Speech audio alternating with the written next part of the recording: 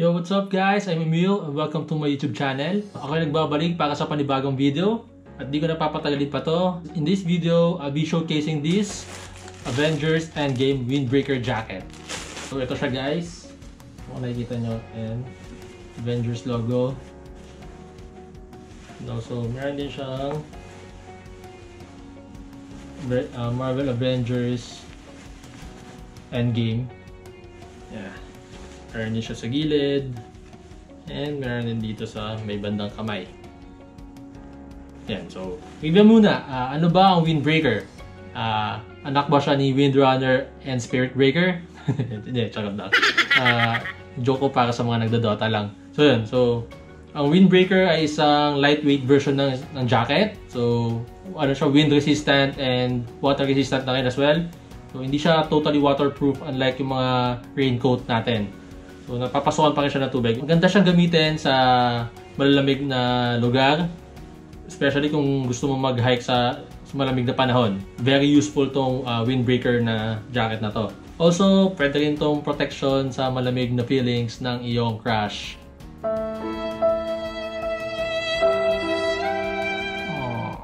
Charot lang ulit. eh, tama na ang trivia. So, sad ko ba nabili tong uh, jacket na to? So, nabili ko siya sa Globe Uptown BGC uh, last April 11. Dalawa yung binili ko, isa para sa akin, which is ito, isa yung para sa girlfriend ko. So, para couple jacket kami pag ganood kami ng Avengers Endgame nga. Uh, I think uh, sold out siya that day din. So, nung April 11, uh, na-sold out na din lahat ng stock ng jacket na to. Kasi limited limited release lang talaga siya. So, per Globe Store, uh, inalat lang sila ng, I think, 5 to 10 pieces ng iba't ibang sizes ng jacket na to. Sa mga nakakuha ng jacket na to, uh, congrats sa atin guys. Good job. So, madami na rin naglipa ng uh, Facebook page and also mga Shopee seller na nag nagbebenta ng parang ganitong style nga. Kasi nga, alam naman natin na yung design niya is nakita natin sa trailer.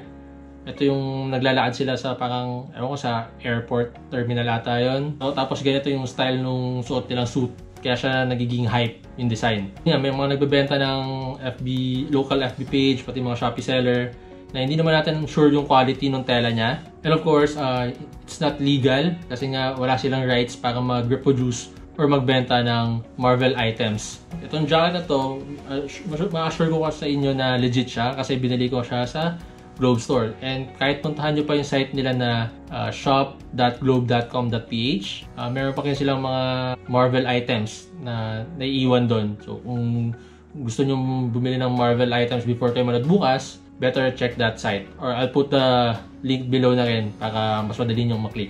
Ayun na nga, dahil showing na bukas yung Avengers Endgame dito sa Pinas. Siyempre, susuotin namin ng girlfriend ko tong uh, windbreaker jacket na to bukas dun sa special screening sa may Mega Mall. Kita-kits na lang sa mga nag-purchase ng ticket sa page na Sindane. Sindane, S-Y-N-D-E-I-N. So, kita-kits na lang tayo doon sa mga nag-purchase ng tickets nga. And may mga naiiwan pa atang slots. Kung gusto nyo manood bukas ng gabi sa Mega Mall, I think pwede pa kayo mag, uh, mag-purchase ng ticket sa kanila. So, I'll put the steps sa description box nga kung paano kayo makapag-purchase ng ticket sa kanila. For a closer look of this cool jacket, Meron akong video na suot ko siya. So, let's check that out.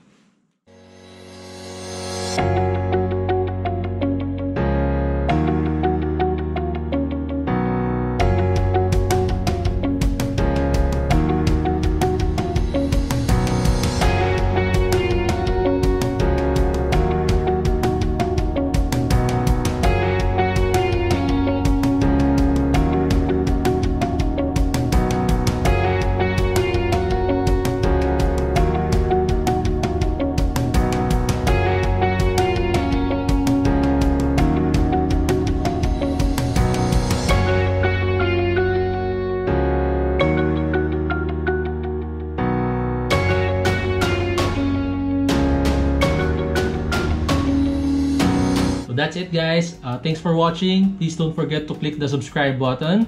And if you enjoyed this video, uh, pa-click na rin yung like button. Thank you, thank you so much. Whatever it takes, manonood kami ng Avengers Endgame bukas at hindi kami mangi-spoil sa mga hindi pa nakakapanood. Sana kayo rin. So, God bless us. Peace out.